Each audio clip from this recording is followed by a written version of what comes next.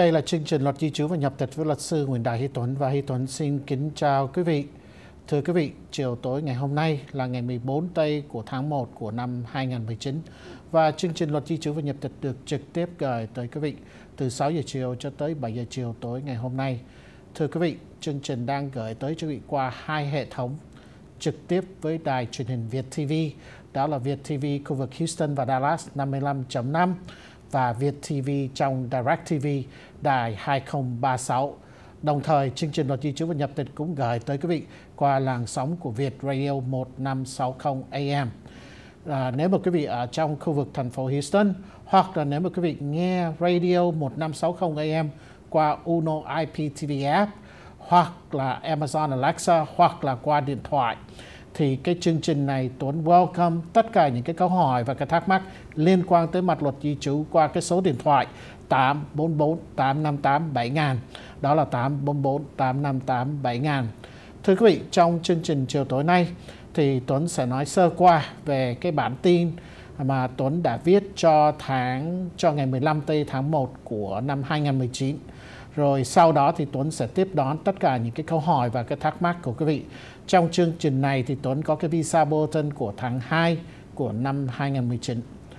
À, cách đây cũng khoảng 7-8 năm rồi thì mỗi nửa tháng rơi vào ngày 15 tây thì Tuấn có viết cái bài trong cái newsletter là cái bản tin của văn phòng thôi mà Tuấn gửi cho tất cả những người nào mà có đăng ký với Tuấn qua cái email thì cái bản tin này là cái cơ hội để cho Tuấn à, cập nhật những cái tin gì mà Tuấn cảm thấy nó quan trọng cho cộng đồng người Việt của chúng ta là một. Cái thứ hai nó cũng là cái bản tin mà để cho Tuấn cung cấp những cái visa bulletin những cái phát triển liên quan về cái cái cái cái cái mặt luật à, di trú hoặc là cái phát triển của cái visa bulletin đó thì cái thứ ba là cái cái cái cái newsletter và cái đăng ký của quý vị hoặc cái danh của cái email quý vị nó cũng là cái cơ hội để cho Tuấn gửi cái alert là cái thông báo khẩn cấp cho quý vị. Nếu mà cái chuyện gì mà nó xảy ra à, thì ngày mai là ngày 15 tây của tháng 1 của năm 2019 thì Tuấn sẽ bắt đầu gửi cái cái cái newsletter cho quý vị mà đã ghi danh với Tuấn qua cái email của Tuấn. Và nếu mà quý vị muốn tham dự muốn nhận được những cái bản tin này qua cái uh, bài viết của Tuấn giữa giữa tháng, giữa tháng vào ngày 15 thì quý vị có thể email cho Tuấn. Địa chỉ email của Tuấn là di chú a vòng luật sư tuấn.com đó là di chú a vòng luật sư tuấn.com nào nếu mà quý vị có ghi danh với Tuấn thì khi nào mà cái bản tin gì nó rất là quan trọng nó rất là quan trọng mà Tuấn cần thông báo liền thì Tuấn sẽ send out cái alert là cái thông báo khẩn cấp. À, lần cuối lần cuối Tuấn mà gửi cái thông báo đó là cũng cách đây 15 hoặc là à, 16 tháng rồi. Và cái thời đó là cái cái cơn bão Harvey mà Tuấn thông báo về cái văn phòng sở hữu địa phương ở Houston cho cái những cái người mà ghi danh với Tuấn. Đây thỉnh thoảng thôi, chỉ có khi nào cái gì mà khẩn cấp hoặc là emergency thôi. Hoặc là khi có cái quyết định gì của sở di trú hoặc là tòa di trú mà nó lớn mà nó ảnh hưởng người Việt của chúng ta mà mình cần loan truyền cái thông tin này ra gấp thì Tuấn sẽ gửi cái alert cho quý vị. Một lần nữa, đây là một cái email mà quý vị có thể gửi tới để xin nhận cái bản tin này. Email của Tuấn là di chú a vòng luật sư tuấn.com.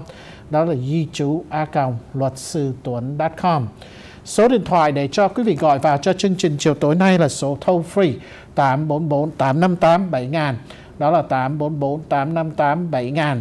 À, trong cái chương trình này thì Tuấn có mới nhận được ngày hôm qua cái visa bulletin của tháng 2 của năm 2019 thì tiện đây cho Tuấn gửi cái phần B.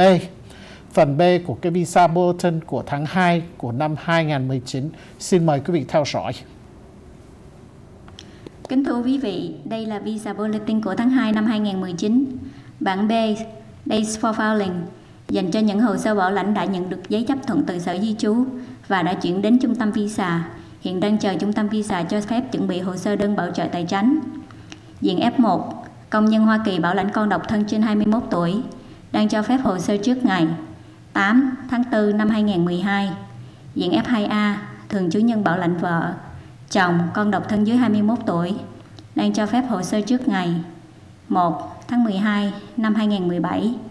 Diện F2B, thường trú nhân bảo lãnh con độc thân trên 21 tuổi, đang cho phép hồ sơ trước ngày 22 tháng 6 năm 2014. Diện F3, công nhân Hoa Kỳ bảo lãnh con đã lập gia đình, đang cho phép hồ sơ trước ngày 1 tháng 2 năm 2007. Diện F4, công dân Hoa Kỳ bảo lãnh anh chị em, đang cho phép hồ sơ trước ngày 15 tháng 6 năm 2006. Kính thưa quý vị, đây là visa bulletin của tháng 2 năm 2019. Và cho Tuấn nhắc nhở nha, đây là phần B của cái visa bulletin là nếu mà thân nhân quý vị ở bên Việt Nam, đây là những cái ngày mà người ta sử dụng, người ta là trung tâm visa của Bộ Ngoại giao sử dụng để bắt đầu liên lạc với cái văn phòng hoặc là bắt đầu liên lạc với cái người bảo lãnh bên này để chuẩn bị cho phỏng vấn. Chứ không nhất thiết phải phỏng vấn nha. Phải uh, phỏng vấn thì cái cái cái thứ tự quý vị nó phải đáo hạn nghĩa là phải căn cứ vào cái phần A của cái visa bulletin thì phần A Tuấn sẽ gửi cho quý vị trong chương, trong phần 2 của cái chương trình. Và bây giờ cho Tuấn xin mời quý gọi vào cho chương trình, số điện thoại là số toll free 844 858 7000 đó là 844 858 7000 nhắc nhở quý vị rằng khi gọi vào làm ơn nói chuyện qua điện thoại, nếu mà Tuấn không còn câu hỏi gì cho quý vị, thì quý vị có thể cấp điện thoại bật lớn cái volume của cái câu, của cái TV hoặc là cái radio của quý vị. Đồng thời, nếu mà quý vị tóm tắt lại những cái câu hỏi và nó càng chính xác thì Tuấn sẽ trả lời rất là chính xác cho quý vị và cuối cùng muốn nhắc nhở quý vị rằng đây là một cái chương trình để cập nhật cho quý vị những cái tin tức liên quan về mặt luật di trú và nhập tịch, chứ nó không phải là cái chương trình thay thế được cái sự cố vấn của quý vị với trực tiếp với luật sư quý vị. Lúc nào Tuấn cũng khuyến khích quý vị nên tham khảo luật sư quý vị. Và bây giờ cho Tuấn xin mời đường dây đầu tiên, đó là cô Tâm ở tiểu bang Kansas. Cho Tuấn xin mời cô Tâm ở tiểu bang Kansas lên tiếng đi, cô Tâm. Dạ chào luật sư. Chào bác ạ. À, tôi tên là Tâm ở Kansas à, luật sư cho tôi hỏi tôi ở Mỹ đã được 5 năm và có lần tôi ở Mỹ chưa được 6 tháng thì tôi về Việt Nam. Thì khi thi quốc tịch tôi có hợp lệ không? Xin luật sư cho tôi ờ, biết ạ. À. cảm dạ, ơn vâng. luật sư cô Tâm cho tôi hỏi cô vài câu thôi. Cô qua Mỹ cách đây hơn 5 năm theo diện gì vậy cô? Dạ thì diện uh, vợ chồng. Dạ vâng. Cho nên kết hôn ở Việt Nam khi qua là có thẻ xanh liền phải không ạ? Dạ thưa không. Tôi đi theo diện định cư và sau khi tôi qua định cư bên này à, rồi tôi mới lấy chồng. Ok tôi không hiểu cô. Ai bảo lãnh cho dạ, cô qua bên này? dạ. Ai bảo lãnh cho dạ, cô qua ông bên anh tôi dạ ông anh tôi bảo lãnh qua là được 7 năm lận. Dạ vâng. Nhưng, à, khi tôi lấy chồng đến giờ thì được 5 năm. Dạ vâng cảm ơn cô. Cái thứ hai cho tôi hỏi lúc mà cô đi về Việt Nam cô ở bao lâu? Dạ năm tháng rưỡi. Dạ vâng. À, cảm ơn cô rất là nhiều và cô có thể cấp điện thoại cho tôi. À, thưa cô nếu mà xin vào quốc tịch đó, thì cho tôi nhắc nhở cô và tất cả quý vị nha. Mình nói là cái thời gian thường trú nhân chứ không phải là cái thời gian sống ở trong nước Mỹ. Nhiều khi người ta sống ở trong nước Mỹ mà không phải nhất thiết là có thẻ xanh. Tuấn cho cái thí dụ đi giả sử người ta qua đây dành fiancé rồi từ từ người ta kết hôn người ta xin thẻ xanh thì cái thời gian người ta đợi chờ để có thẻ xanh thì nó không tính cho cái vấn đề quốc tịch. Quốc tịch nó phải tính cái thời điểm có thẻ xanh trở đi cho dù nó là thẻ xanh 2 năm. Một cái thí dụ nữa là nếu mà qua du lịch rồi người ta từ từ kết hôn rồi sau đó có thẻ xanh thì mình phải tính từ cái thẻ xanh 2 năm hoặc thẻ xanh 10 năm trở lên. Chứ nó không phải cái thời điểm người ta qua du lịch hoặc là qua chờ cái thủ tục. À, nếu mà cái thẻ xanh của cô có trên 5 năm rồi và nếu mà cô đi dưới 180 ngày thì tôi nghĩ nó không có gì cản trở để cho cô nộp đơn xin vào quốc tịch ha. À, thưa cô à, cái điều kiện thì tôi nghĩ cô không có trở ngại rồi chỉ có make sure là cô hiểu biết tiếng Anh thôi nói được tiếng Anh và trả lời lịch sử cô.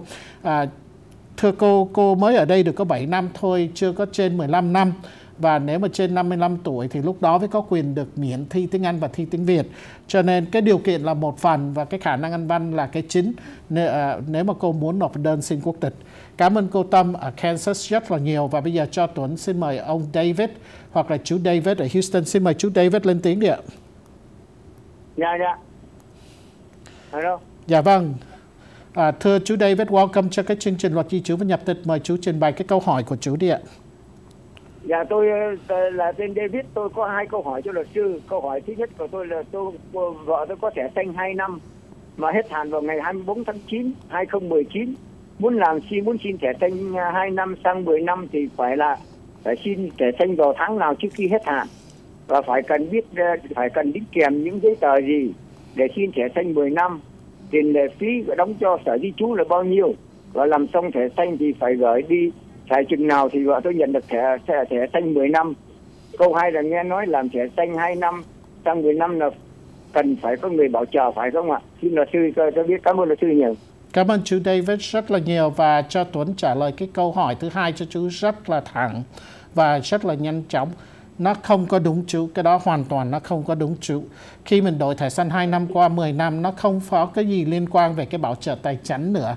Cho nên cái thu nhập ít hay là thu nhập nó không có, nó không có cản trở. Tại vì cái thẻ xanh 2 năm qua 10 năm với cái mẫu đơn Y751 đó là một cái thủ tục để tái kiểm tra về cái hôn nhân của cô chú là một, để coi lại cô ta có vi phạm cái gì hay không thôi, chứ nó không có gì liên quan tới cái bảo trợ tài chính. Thưa chú, nếu mà cái thẻ xanh của cô ta hết hạn vào ngày 24 tây tháng 9 của năm 2019 và nếu mà cô chú vẫn sống chung là phương cách là vợ chồng và vẫn còn hôn thú là sớm nhất, sớm nhất cô ta có quyền nộp hồ sơ Y751 để đổi thẻ xanh 2 năm qua 10 năm là ngày 24 tây tháng 6 của năm 2019. Đó là 90 ngày trước khi hết hạn là cái thời điểm sớm nhất nha. Cho nên cái cửa nó sẽ mở bắt đầu ngày 24 tây tháng 6 năm 2019 trở đi. Cho nên sớm nhất là sau ngày 24 tây tháng 6 năm 2019. Cái thứ nhì, đó là cái mẫu đơn Y751 cái lệ phí của cái mẫu đơn đó hiện tại bây giờ là 680 đồng. Cần nộp cái gì? Tất cả chứng cớ để có thể ủng hộ, có thể giúp được để trình bày đây là cái hôn nhân thật, ăn ở sống chung, giống như nhà băng, thuế má và hình ảnh à, và à, bất cứ cái gì có chung về cái vấn đề nợ nhà băng hoặc là tài sản chung thì kèm hết chú. Thời gian người ta giải quyết cái này nó hơi chậm nha chú. Thời gian người ta giải quyết gần tới 18 tháng hoặc là hơn. Đó là cái lý do tại sao khi mà đóng tiền nộp hồ sơ thì sở di trú sẽ cho cái receipt là cái biên lai like. trong cái biên lai like nó sẽ gia hạn thẻ xanh cho cô 18 tháng à, từ từ người ta sẽ mời lăn tay rồi sau đó có thể người ta sẽ mời đi phỏng vấn Cảm ơn ông David ở Houston rất là nhiều. Và bây giờ cũng tiếp tục thành phố Houston cho Tuấn. Xin mời chú Dũng. Xin mời chú Dũng lên tiếng đi chú Dũng. Chú Dũng ở Houston, xin mời chú lên tiếng đi chú ạ. Dạ. Đây là chương trình luật di trú, mời chú trình bày cái câu hỏi đi chú ạ. Dạ, chào luật sư tôi, tôi tên là Dũng. Tôi có tôi có một người cháu là coi như là du học sinh ở Mỹ đây. À, tôi là có một người cháu đang uh, du học sinh ở Mỹ đây. Nhưng mà bây giờ cháu nó có quốc tịch rồi à, nó có thẻ xanh rồi. Bây giờ nó muốn là à, um, hiện tại là bố của của cháu có qua thăm ở đây nhưng mà bị trễ visa không về về chưa về Việt Nam. Vậy thì sau này nếu như cháu mà có quốc tịch ấy, thì bảo lãnh bố có dễ không?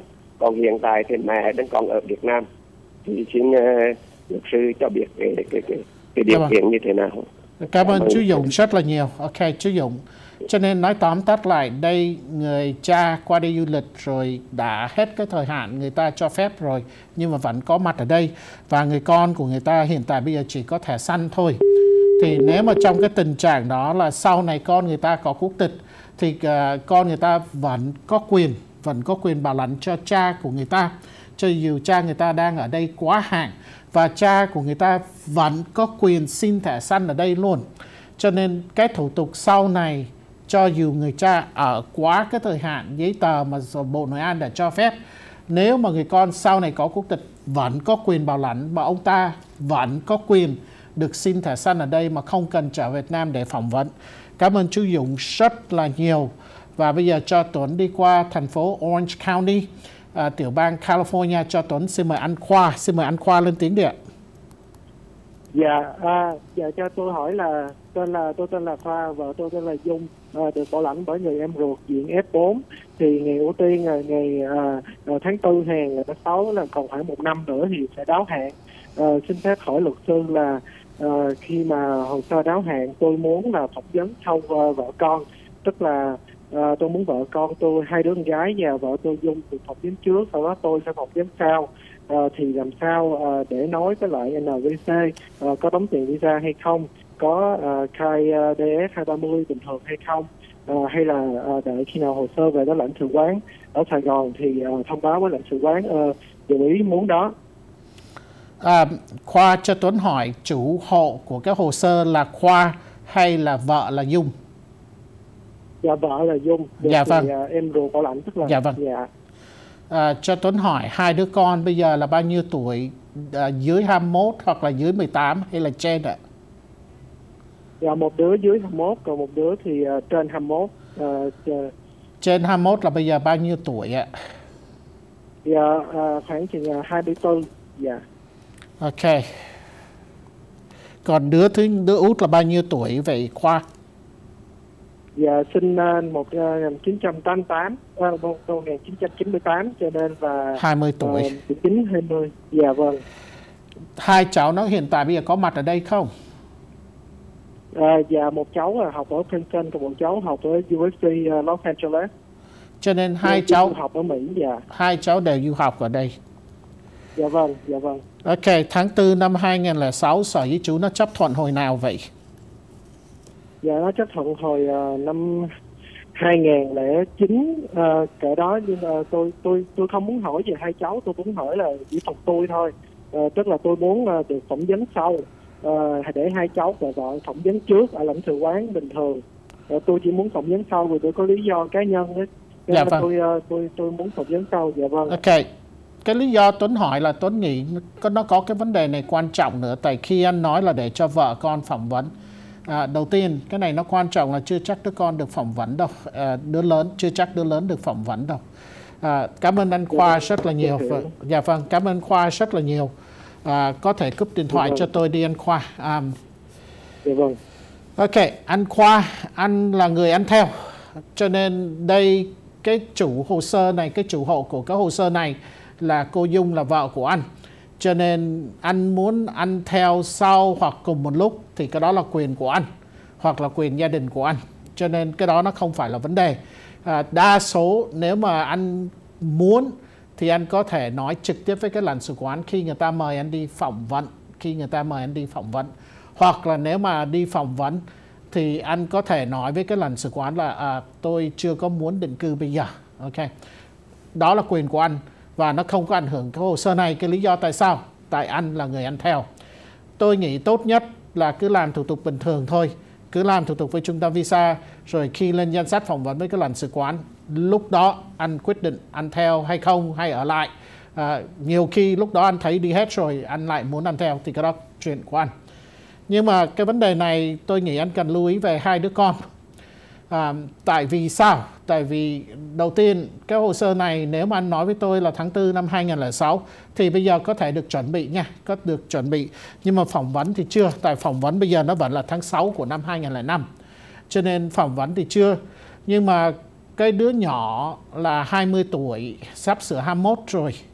Mà cái hồ sơ này nộp vào tháng 4 năm 2006 chấp thuận năm 2009 thì nếu mà căn cứ như vậy nó khoảng được cộng khoảng 3 năm 3 năm cộng với 21 là 24 tuổi thì tôi nghĩ đứa nhỏ nó dư sức được ăn theo. Nào, đứa lớn chưa chắc, chưa chắc. Nhưng mà nếu mà hai cháu đang đi học ở đây thì cái câu hỏi nếu mà cháu được ăn theo có nên về Việt Nam phỏng vấn hay không thì cái đó phải suy nghĩ lại. Cho nên cái vấn đề của anh thì cái đó nó rất là đơn giản nhưng mà tôi nghĩ cái vấn đề nhức đầu và phức tạp là hai đứa cháu. Nếu mà cháu được ăn theo nên ăn theo ở bên Mỹ hay là anh đi về Việt Nam phỏng vấn thì tất cả những cái chi tiết đó thì gia đình của anh và luật sư luật sư của anh phải tính toán nó sao À, cảm ơn Khoa rất là nhiều và bây giờ cho Tuấn xin mời chị Trang ở Houston. Xin mời chị Trang ở Houston lên tiếng để chị Trang. Cô Trang ở Houston xin mời cô Trang lên tiếng đi cô. Đây là, là chương trình luật di trú và nhập tịch với luật sư Tuấn ạ. Dạ xin chào luật sư. À, em có câu hỏi là em làm giấy bảo lãnh cho gia đình người em trai của em tháng 5 uh, năm à, 2005 à, đã ờ, đã bị từ chối rồi em có tới văn phòng luật sư để nhờ luật sư làm khiếu nại. Thì văn phòng luật sư đã khiếu nại được và sở di trú đã approve uh, approve ngày 8 tháng 8 ngày 15 năm 2018 và đã chuyển lên trung tâm visa để được để đang chờ đóng visa và bảo trợ tài chính. Mà sao em chờ nay là 4 năm tháng rồi em có gọi lại văn phòng thì mới gọi lại ba bốn lần. Mấy cô có nói là phải chờ visa uh, cho đóng tiền thì mình mới được đóng tiền. Mà sao em chờ lâu quá em thấy chưa được gọi để đóng tiền cho nên dạ em vâng. lo. Ok Trang cảm ơn Trang rất là nhiều. À, cô Trang và dạ. tất cả quý vị nếu mà quý vị là thân chủ của Tuấn Tuấn muốn quý vị trực tiếp nói chuyện với Tuấn ở văn phòng ok? À, Tuấn biết là ai cũng rất là bận nhưng mà đây tại vì cái sự kính đáo của người ta và gia đình của người ta Tuấn muốn giữ cái sự kính đáo đó cho người ta. À, cái đó là một. Cái thứ hai nữa đó là cái chương trình này nếu mà quý vị theo dõi quý vị biết nó không phải là gửi tới cho quý vị qua trực tiếp đâu mà nó đi qua trực tiếp không phải Houston, Dallas và hoàn nước Mỹ đâu. Và nhiều quý vị đang coi cái chương trình này live trên Facebook nữa. Và nhiều quý vị coi lại cái chương trình này trên YouTube nữa và đây không phải là quý vị trong nước Hoa Kỳ mà quý vị trên Việt Nam luôn cho nên Tuấn là luật sư Tuấn có cái trách nhiệm giữ cái sự kín đáo cho người ta cho nên á, nếu nếu mà quý vị là thân chủ của Tuấn thì Tuấn muốn quý vị trực tiếp nói chuyện với Tuấn ở, ở văn phòng. Nào, cô Cẩm Trang, ok.